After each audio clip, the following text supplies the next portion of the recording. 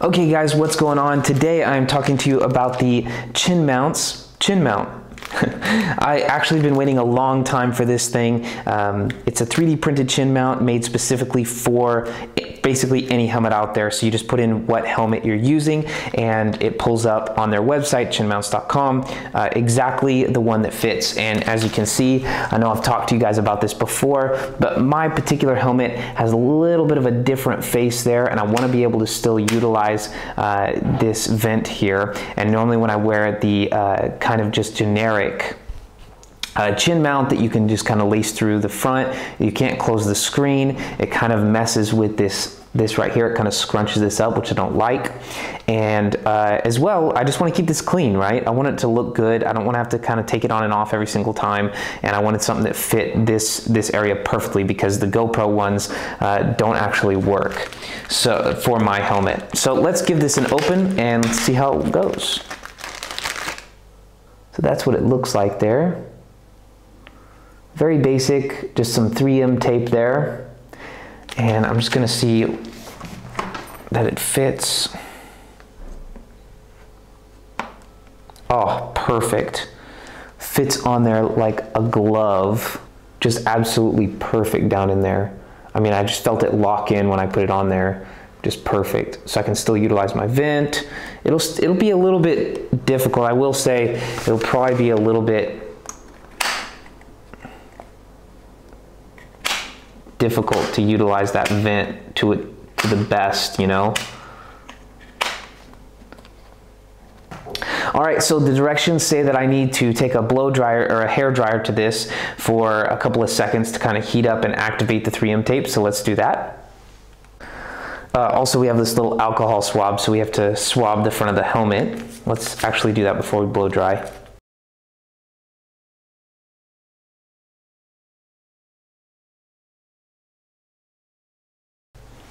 I want this seal to be really good. I don't want my GoPro falling off while I'm going down the road, so that's pretty important. It actually also comes with this safety leash, so you can, I, I think I'm gonna go ahead and put that on there too. So I'm gonna put it over here to the right. Then I can figure out where I want to put it after. The reason I'm putting it on the right is because I also have my Sena on the left hand side, so it just seems like a little bit of balance is necessary even though it's not heavy at all. All right, let's get this thing going. All right, so it says as soon as the alcohol is dry, I'm just gonna give a little wipe just to make sure. All right, so it looks pretty good. This is warm. I'm going to take the out the sticker off. Ooh, that's sticky. I can tell it's sticky. So now they say if you don't put this correctly, um, let me just make sure. Just apply some pressure once you get it on there real good. Uh, they do say that if for whatever reason you need to move this around and you don't like the placement, um, they say that you can just take the hair dryer to it again and give it a little bit more of a, of a heat there and it'll allow you to scoot it around a little bit. All right, I think I, I think I got it on there pretty good and it looks like it fits pretty nicely. It actually, uh, I had it a little high a minute ago when I was showing you, but you know, I've still got complete use of this, no problem, uninhibited. So that's pretty nice. That looks pretty good. And it's super light, super, super light on there. So after you just give it, they say that you need to wait 24 hours after you've put this on before using it, just to make sure that it seals well. And uh, I think I'm gonna go ahead and put this little safety leash on the side.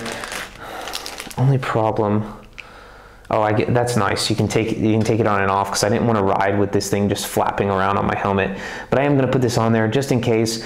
My GoPro is a Hero 10 and it's new. I really don't want to lose that. So let's heat this up again. Normally I wouldn't bother with this.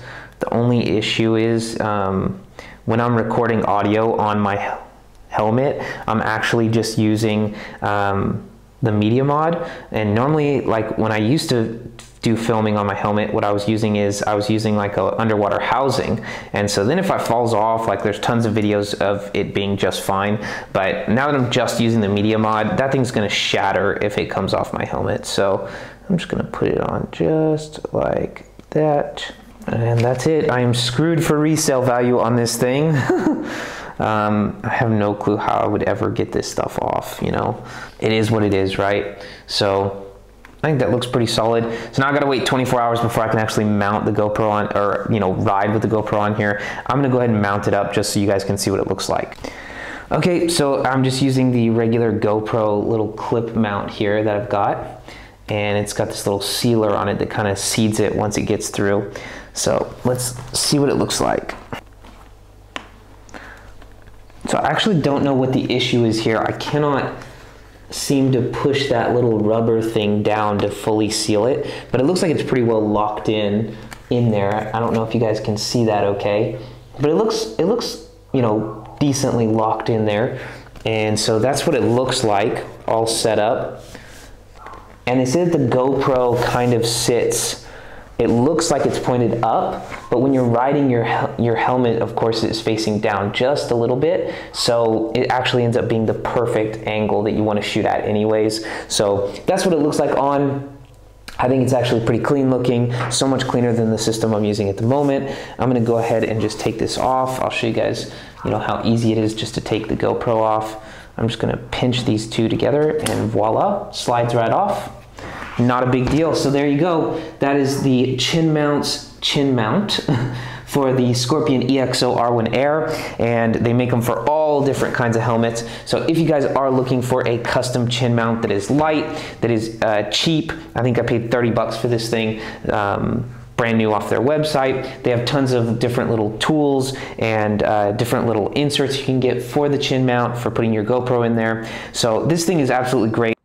All right, so it's been 24 hours now and the chin mount is looking awesome on the helmet. Really like this product. Um, they did not sponsor this video, but I do really like this product and I just love how simple it is and there's no other uh, laces going through the helmet. It's just simple. It's on the helmet, it's there, it's light, let's go. So absolutely love this. If you guys are looking for a possibly new chin mount for your helmet, consider chinmounts.com. I definitely think it's a great product. Uh, other than that, I'm gonna go out there and ride. So maybe I'll see you out there. Ride safe, and we'll see you on the pavement.